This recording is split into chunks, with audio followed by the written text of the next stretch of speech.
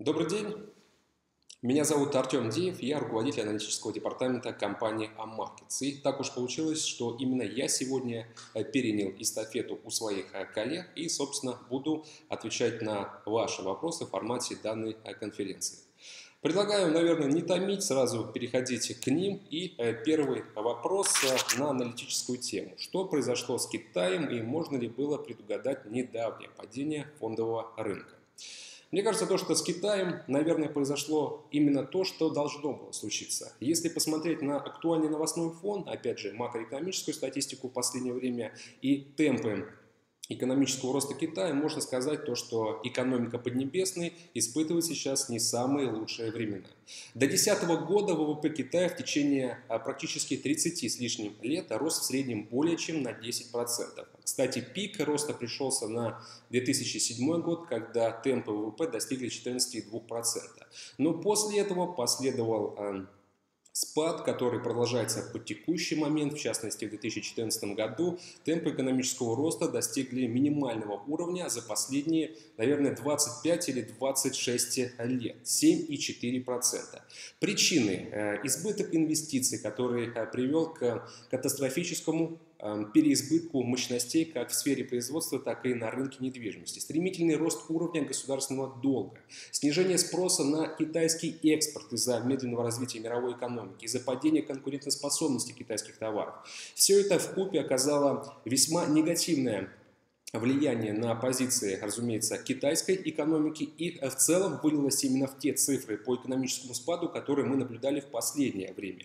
И эти проблемы на самом деле сохраняются и продолжаются. Актуальная статистика. Второй квартал 2015 года и что мы наблюдаем сейчас по темпам экономического роста? 7%. То есть фактически отчет оказался гораздо хуже прогнозного значения. И я думаю, что это еще не предел негатива, который мы сможем наблюдать до конца этого года.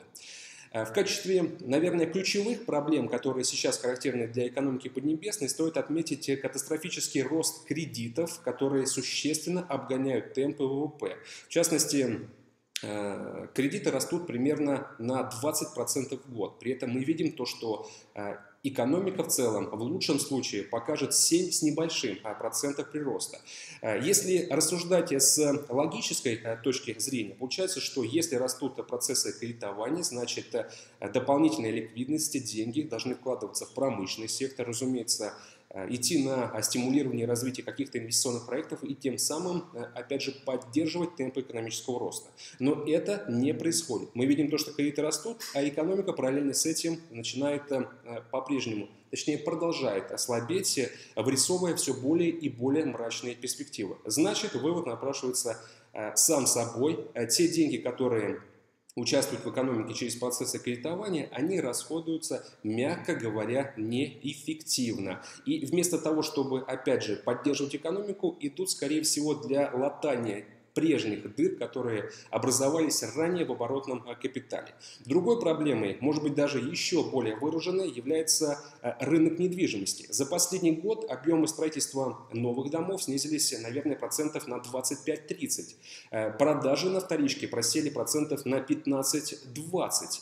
И получается, что если деньги не идут в недвижимость, значит огромное количество ликвидности аккумулируется на рынке. И эту а, денежную массу нужно куда-то девать. А, так а, медленно, но верно средства стали уходить в национальный фондовый рынок. И в целом, если мы сейчас посмотрим на ключевые параметры, которые характеризуют китайскую фондовую секцию, то статистика будет голословной. Если несколько лет назад средний дневной оборот китайской фондовой секции составлял 200 миллиардов юаней в день, то сейчас притоком как раз вот этих инвестиций и ликвидности средний дневной оборот вырос до 2 триллионов юаней. Это показательный, э, кстати, фактор.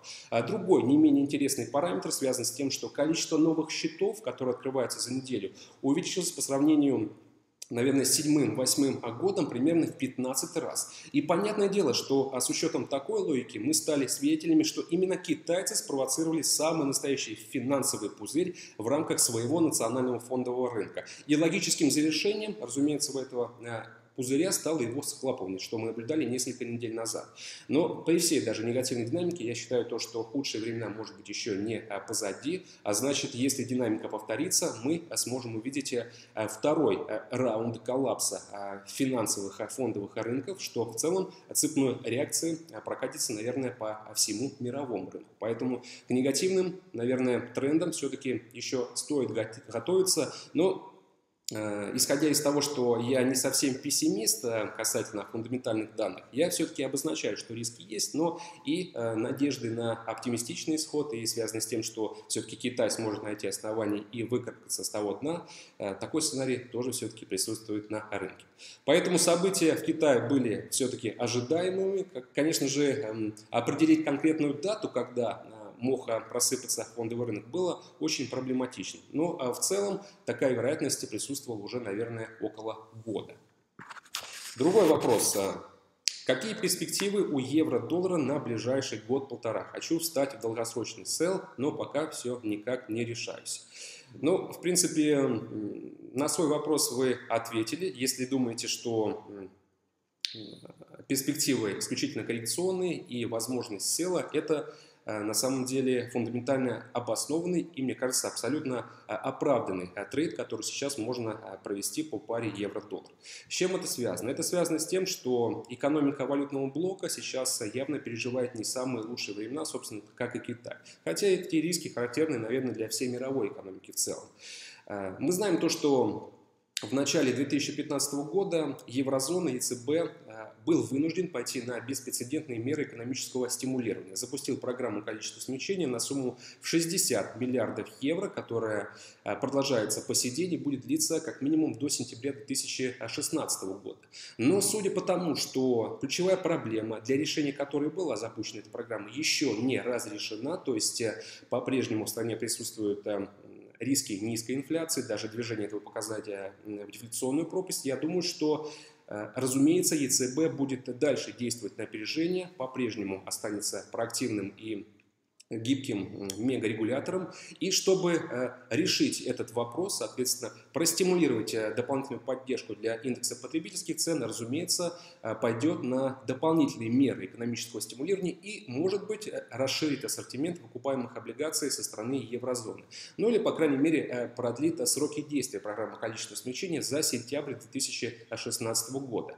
То есть как раз перспектива год-полтора. Мы сейчас как раз ожидаем эти новые меры экономического стимулирования регулирования. И э, если они будут анонсированы в самое ближайшее время, вероятность очень высока, потому что представители ЦБ явно э, делали ставку на то, что без этих мер экономика уже не справляется. И, быть может, э, мы сможем услышать э, о них уже э, в перспективе, наверное, самого ближайшего э, времени. Поэтому для главного валютного риска есть серьезная предпосылка национального характера для того, чтобы продолжить терять драгоценные пункты против основных конкурентов, прежде всего американского доллара. И главная причина – это, конечно же, низкие показатели по инфляции и программа количественного смягчения, которая будет направлена на решение этого вопроса. И с другой стороны, не стоит забывать о том, что конкурентом евро выступает, конечно же, э, американская э, валюта. Поэтому, если сравнивать даже контраст монетарных режимов, это соответственно, ожидание э, доп. стимула со стороны еврозоны и ожидание повышения процентной ставки, то есть уже не смягчение экономической политики, а ужесточение экономического режима со стороны США. Это расхождение будет создавать очень неплохие предпосылки Э, для роста спреда доходности между э, немецкими облигациями и, соответственно, американскими трежерис. В фаворе будут, конечно же, американские бумаги. Поэтому дополнительный приток инвестиций в расположение этих активов, э, активов, которые номинированы в долларах, разумеется, будет приводить к росту и обменного курса американской валюты. Поэтому на евро будет оказан еще соответствующий прессинг и со стороны уже американского конкурента. И я думаю, что этот прессинг также будет существенным, потому что мы уже вплотную подошли как раз к возможному анонсу э, мер, э, связанных с повышением краткосрочных процентных ставок. Быть может, это произойдет уже в этот четверг, когда будут подведены э, итоги двухдневного заседания ФРС и, соответственно, обновлена процентная ставка. Следующий вопрос. Зачем ФРС повышать ставки? Дело в том, что американский мегарегулятор сейчас, наверное, как никогда э, нуждается в дополнительном источнике финансирования и ликвидности. Наверное, нуждается в нем как в воздухе, потому что деньги нужны, и они нужны для э, обеспечения прежних темпов экономического роста, восстановления, для поддержки ключевых секторов и, конечно же, для укрепления национальной валюты. Поэтому сейчас э, ФРС должен э, решать одну из краеугольных проблем, и эта проблема связана с привлечением как раз иностранного капитала на американские рынки. Только приток новых средств может вернуть статус доллара как резервной валюты. Поэтому все, что нужно сделать американскому мегарегулятору сейчас, это создать соответствующие условия, которые повысят привлекательность именно иностранного капитала Э, вкладывать средства именно в американские активы, но для этого э, нужно эм, спровоцировать панику на финансовых рынках, э, э, сделать так, чтобы фондовая секция серьезно просела, чтобы трейдеры снова стали держаться за голову и задавать вопрос, ну куда же нести деньги? И, разумеется, на этом фоне э, ФРС покажет свои доходные американские облигации, трежерс и скажет то, что вот, это актив, который традиционно является безопасным активом, одним из самых надежных инструментов, которые присутствуют на финансовых рынках, и помимо сохранения своих средств, Э, э, располагаясь в этом активе, еще можно надеяться на а, соответствующий прирост по доходности. Поэтому, повышая процентную ставку, эм, ФРС, по сути, сразу убивает э, двух зайцев одним выстрелом. Это паника на финансовых рынках, развивающиеся площадки сразу же рушатся, и параллельно с повышением процентной ставки начинает расти абсолютно логично доходность американских облигаций. Поэтому Здесь э, создаются условия для оттока капитала с международных рынков, притока в расположение э, американских активов и, соответственно, э, усиление позиций доллара и решение тех проблем, которые хочет на текущий момент разрешить американский мегарегулятор. Как только дополнительные инвестиции падут в расположение активов номинированных долларах, будет расти обменный курс, и э, доллар снова сможет вернуть э, статус, точнее сменить э, вот этот легкий налет скепсиса касательно того, что доллар это исключительно зеленые бумажки, которые ничего не стоят. Но вследствие подобных инструментов мы снова рискуем заговорить о американской валюте как о полноценной международной резервной единицы, которая характеризуется достаточно стабильностью и мощнейшей экономикой, которая представлена э, в принципе в мире. Поэтому оснований для повышения процентной э, ставки у ФРС достаточно. Единственный вопрос касательно сроков того, когда же это ожидать. Но я считаю то, что учитывая объективный прогресс, сроки уже подошли. Прогресс на рынке труда, на рынке недвижимости. Ну, можно даже говорить то, что и проблема с инфляцией уже практически решена в перспективе, хорошо, нескольких э, лет, но основания для роста индекса потребительских цен также присутствуют. И мы знаем то, что представители Федеральной резервной системы не будут отталкиваться только исключительно от показателя по инфляции. Поэтому ФРС, э, в принципе, может анонсировать это решение уже в этот четверг, а американская экономика уже неоднократно сигнализировала о том, что готова услышать об этом решении. Следующий вопрос. А почему Центральный банк э, не поддерживает рубль и отпустил его в свободное плавание? А, что касается свободного плавания рубля, я считаю то, что Центральный банк России принял абсолютно оправданное, экономически обоснованное и верное решение с учетом той экономической реальности, в которой оказалась российская а, экономика. А, вспомните начало 2014 года, когда цены на нефть действительно стали серьезно валиться и сдулись практически вдвое с уровня выше 100 долларов за баррель, ну, можно говорить э, также об актуальных котировках, где сейчас находится бренд. Это 47 а, с небольшим. А как только цены на нефть серьезно а, просели, под угрозой оказался, скажем, российский бюджет, его достаточности и, соответственно, стабильности вообще всей бюджетной конструкции. Параллельно стремительно стала девальвироваться национальная валюта. И Центральный банк, исполняя свои ключевые функции, разумеется, обязан поддерживать курс национальной валюты на стабильном уровне. Для того, чтобы делать этого, ему приходилось расходовать эти золото, валюты, резервы, которых было свыше 500 миллиардов на начало 2014 года. Ну, примерно столько. Поскольку курс российской валюты постоянно валился, ЦБ впухивал в экономику колоссальные, много миллиардов собственных резервов, мы видели то, что эти попытки были как раз направлены на то, чтобы поддержать курс российской валюты и остановить этот девалюционный прессинг. Так, медленно, но верно, в рамках всего 2014 года российский мегарегулятор раздал, по сути, на рынке практически 30% своих резервов, больше 150 миллиардов долларов. Но в целом я не скажу то, что эти меры оказали серьезную поддержку российской валюты. Нет, рубль как сохранял серьезные предпосылки для девальвации, так и по-прежнему их, точнее, по-прежнему продолжил их испытывать. И Центральный банк, наверное, руководствуясь, опять же, международной практикой, принял решение, что лучше не повторять, э, скажем, судьбу аргентинского мегарегулятора, когда Э, для сдерживания ослабления курса валюты были израсходованы практически все резервы, точнее все резервы. Но в целом это ни к чему не привело. И Центральный банк России решил сохранить то, что осталось, и сделать ставку именно на емкости валютных резервов, а не э, стабильности курса национальной валюты. Поэтому отправил российские активы в свободное плавание и создал условия, э, вследствие которых курс на рубль теперь формируется под воздействием исключительно рыночных факторов спроса и предложения.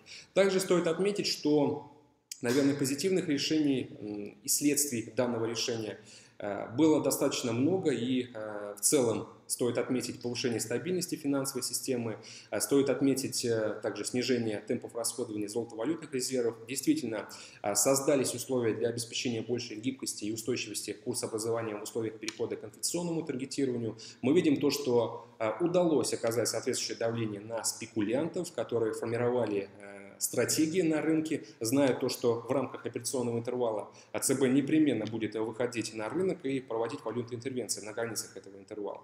И Центральный банк просто упразднил этот механизм, который действовал с 2005 года, и, соответственно, поставил крест на том, той спекулятивной атаке, которая была оказана со стороны тех трейдеров, собственно, которые и создавали, может быть, даже еще больше прессинг на позиции российской валюты.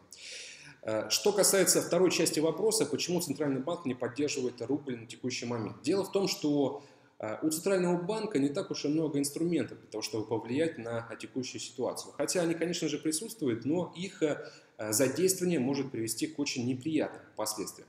В частности, стоит ли проводить Центральному банку сейчас интервенции? Я думаю, что даже если и Центральный банк начал бы это делать, Э, резервов э, очень мало, по сути, для масштабов рынка это ничтожная цифра, и вряд ли ЦБ смог бы оказать какое-то существенное влияние на э, текущую ценовую динамику и тенденции, которые характерны для российского валютного рынка.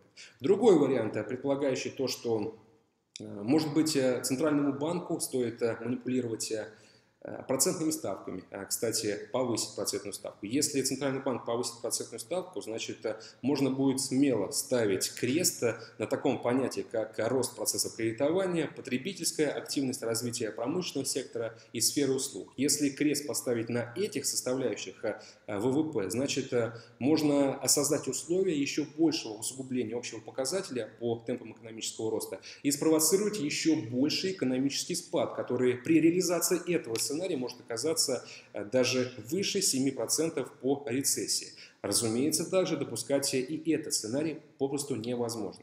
Хотя, будь моя воля, скажем так, я бы, наверное, сейчас э, активно манипулировал а, составками и валютного, и рублевого репо. В частности, это один из самых действенных инструментов, который, на мой взгляд, сейчас имеется в арсенале ЦБ.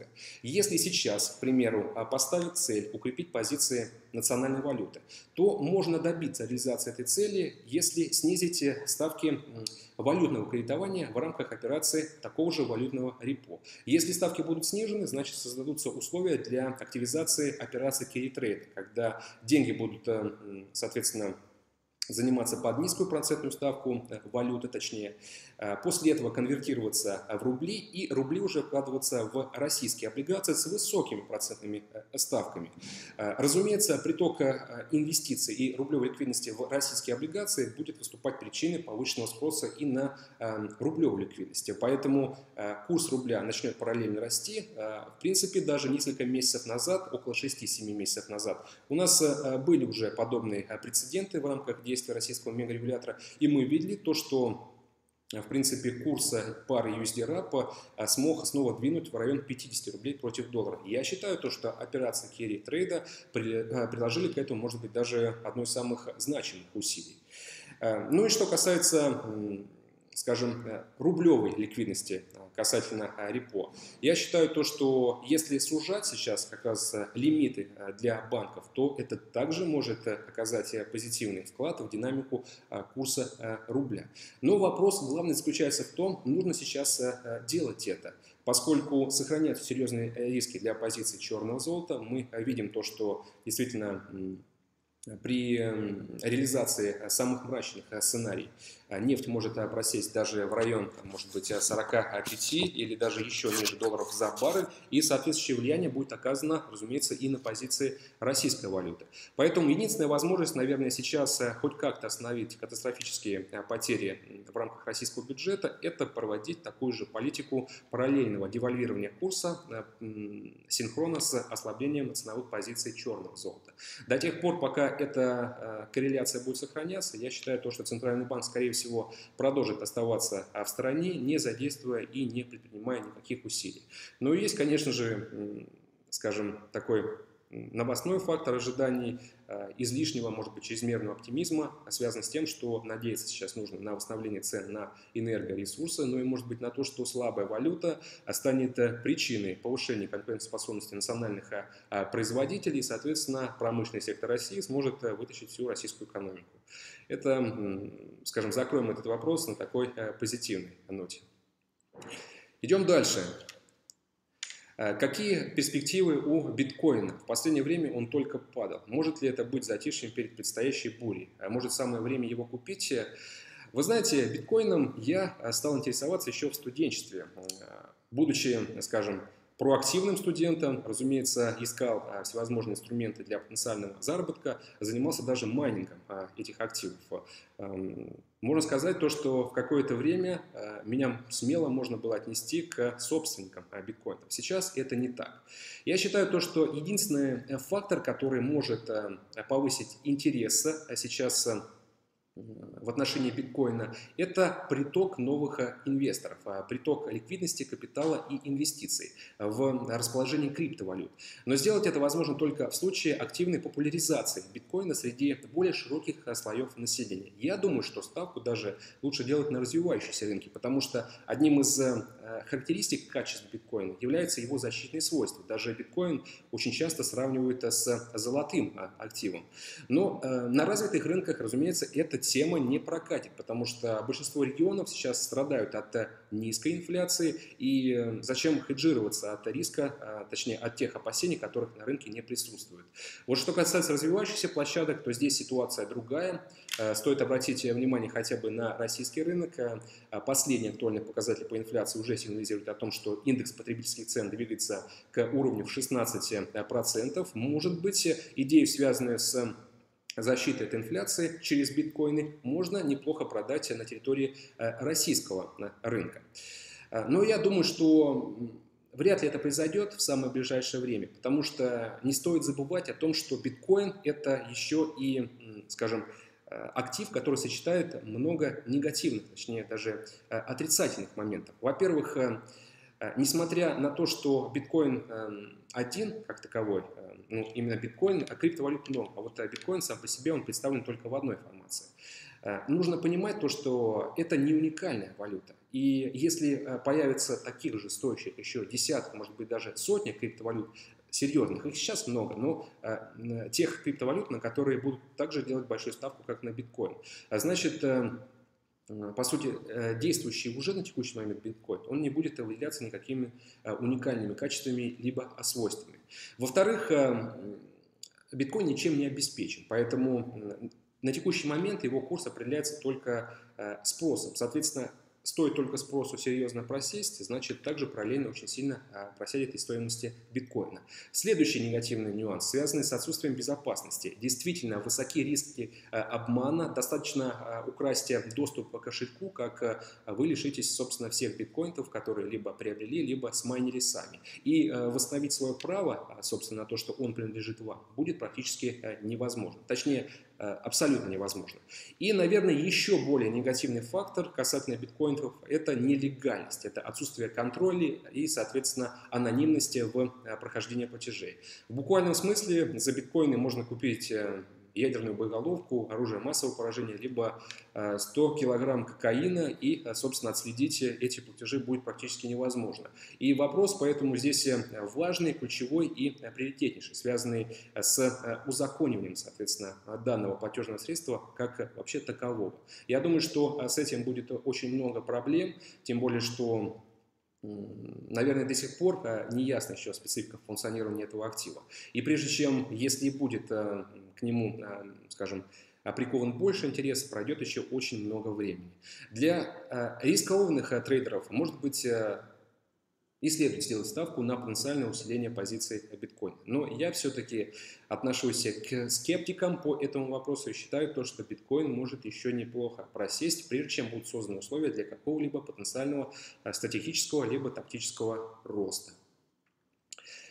Другой вопрос. Артем, хочу узнать прогноз по рублю на ближайшее время. Изменилась э, ли каким образом ваша позиция или у рубля впереди дальнейшая девальвация? Есть ли шанс на его укрепление или же после решения ЦБ сохранения текущих, э, текущей ставки э, возможности не осталось? Я считаю то, что Сейчас по-прежнему нужно следить за позицией черного золота, как я отмечаю и повторяю это каждый брифинг. Если мы делаем ставку на ослабление а, позиции, разумеется, бренда, нужно делать такую же девальвационную ставку и на рубль. Оснований для роста рубля сейчас нет абсолютно никаких. Единственное, что может поспособствовать возвращению пары USD RAP в район 55-50 рублей за доллар, это соответствующий рост позиции бренда и черного золота в целом. Этого сейчас пока не происходит. На налоговый период мы также не делаем ставку, потому что за последние месяцы он зарекомендовал себя не самой лучшей стороны.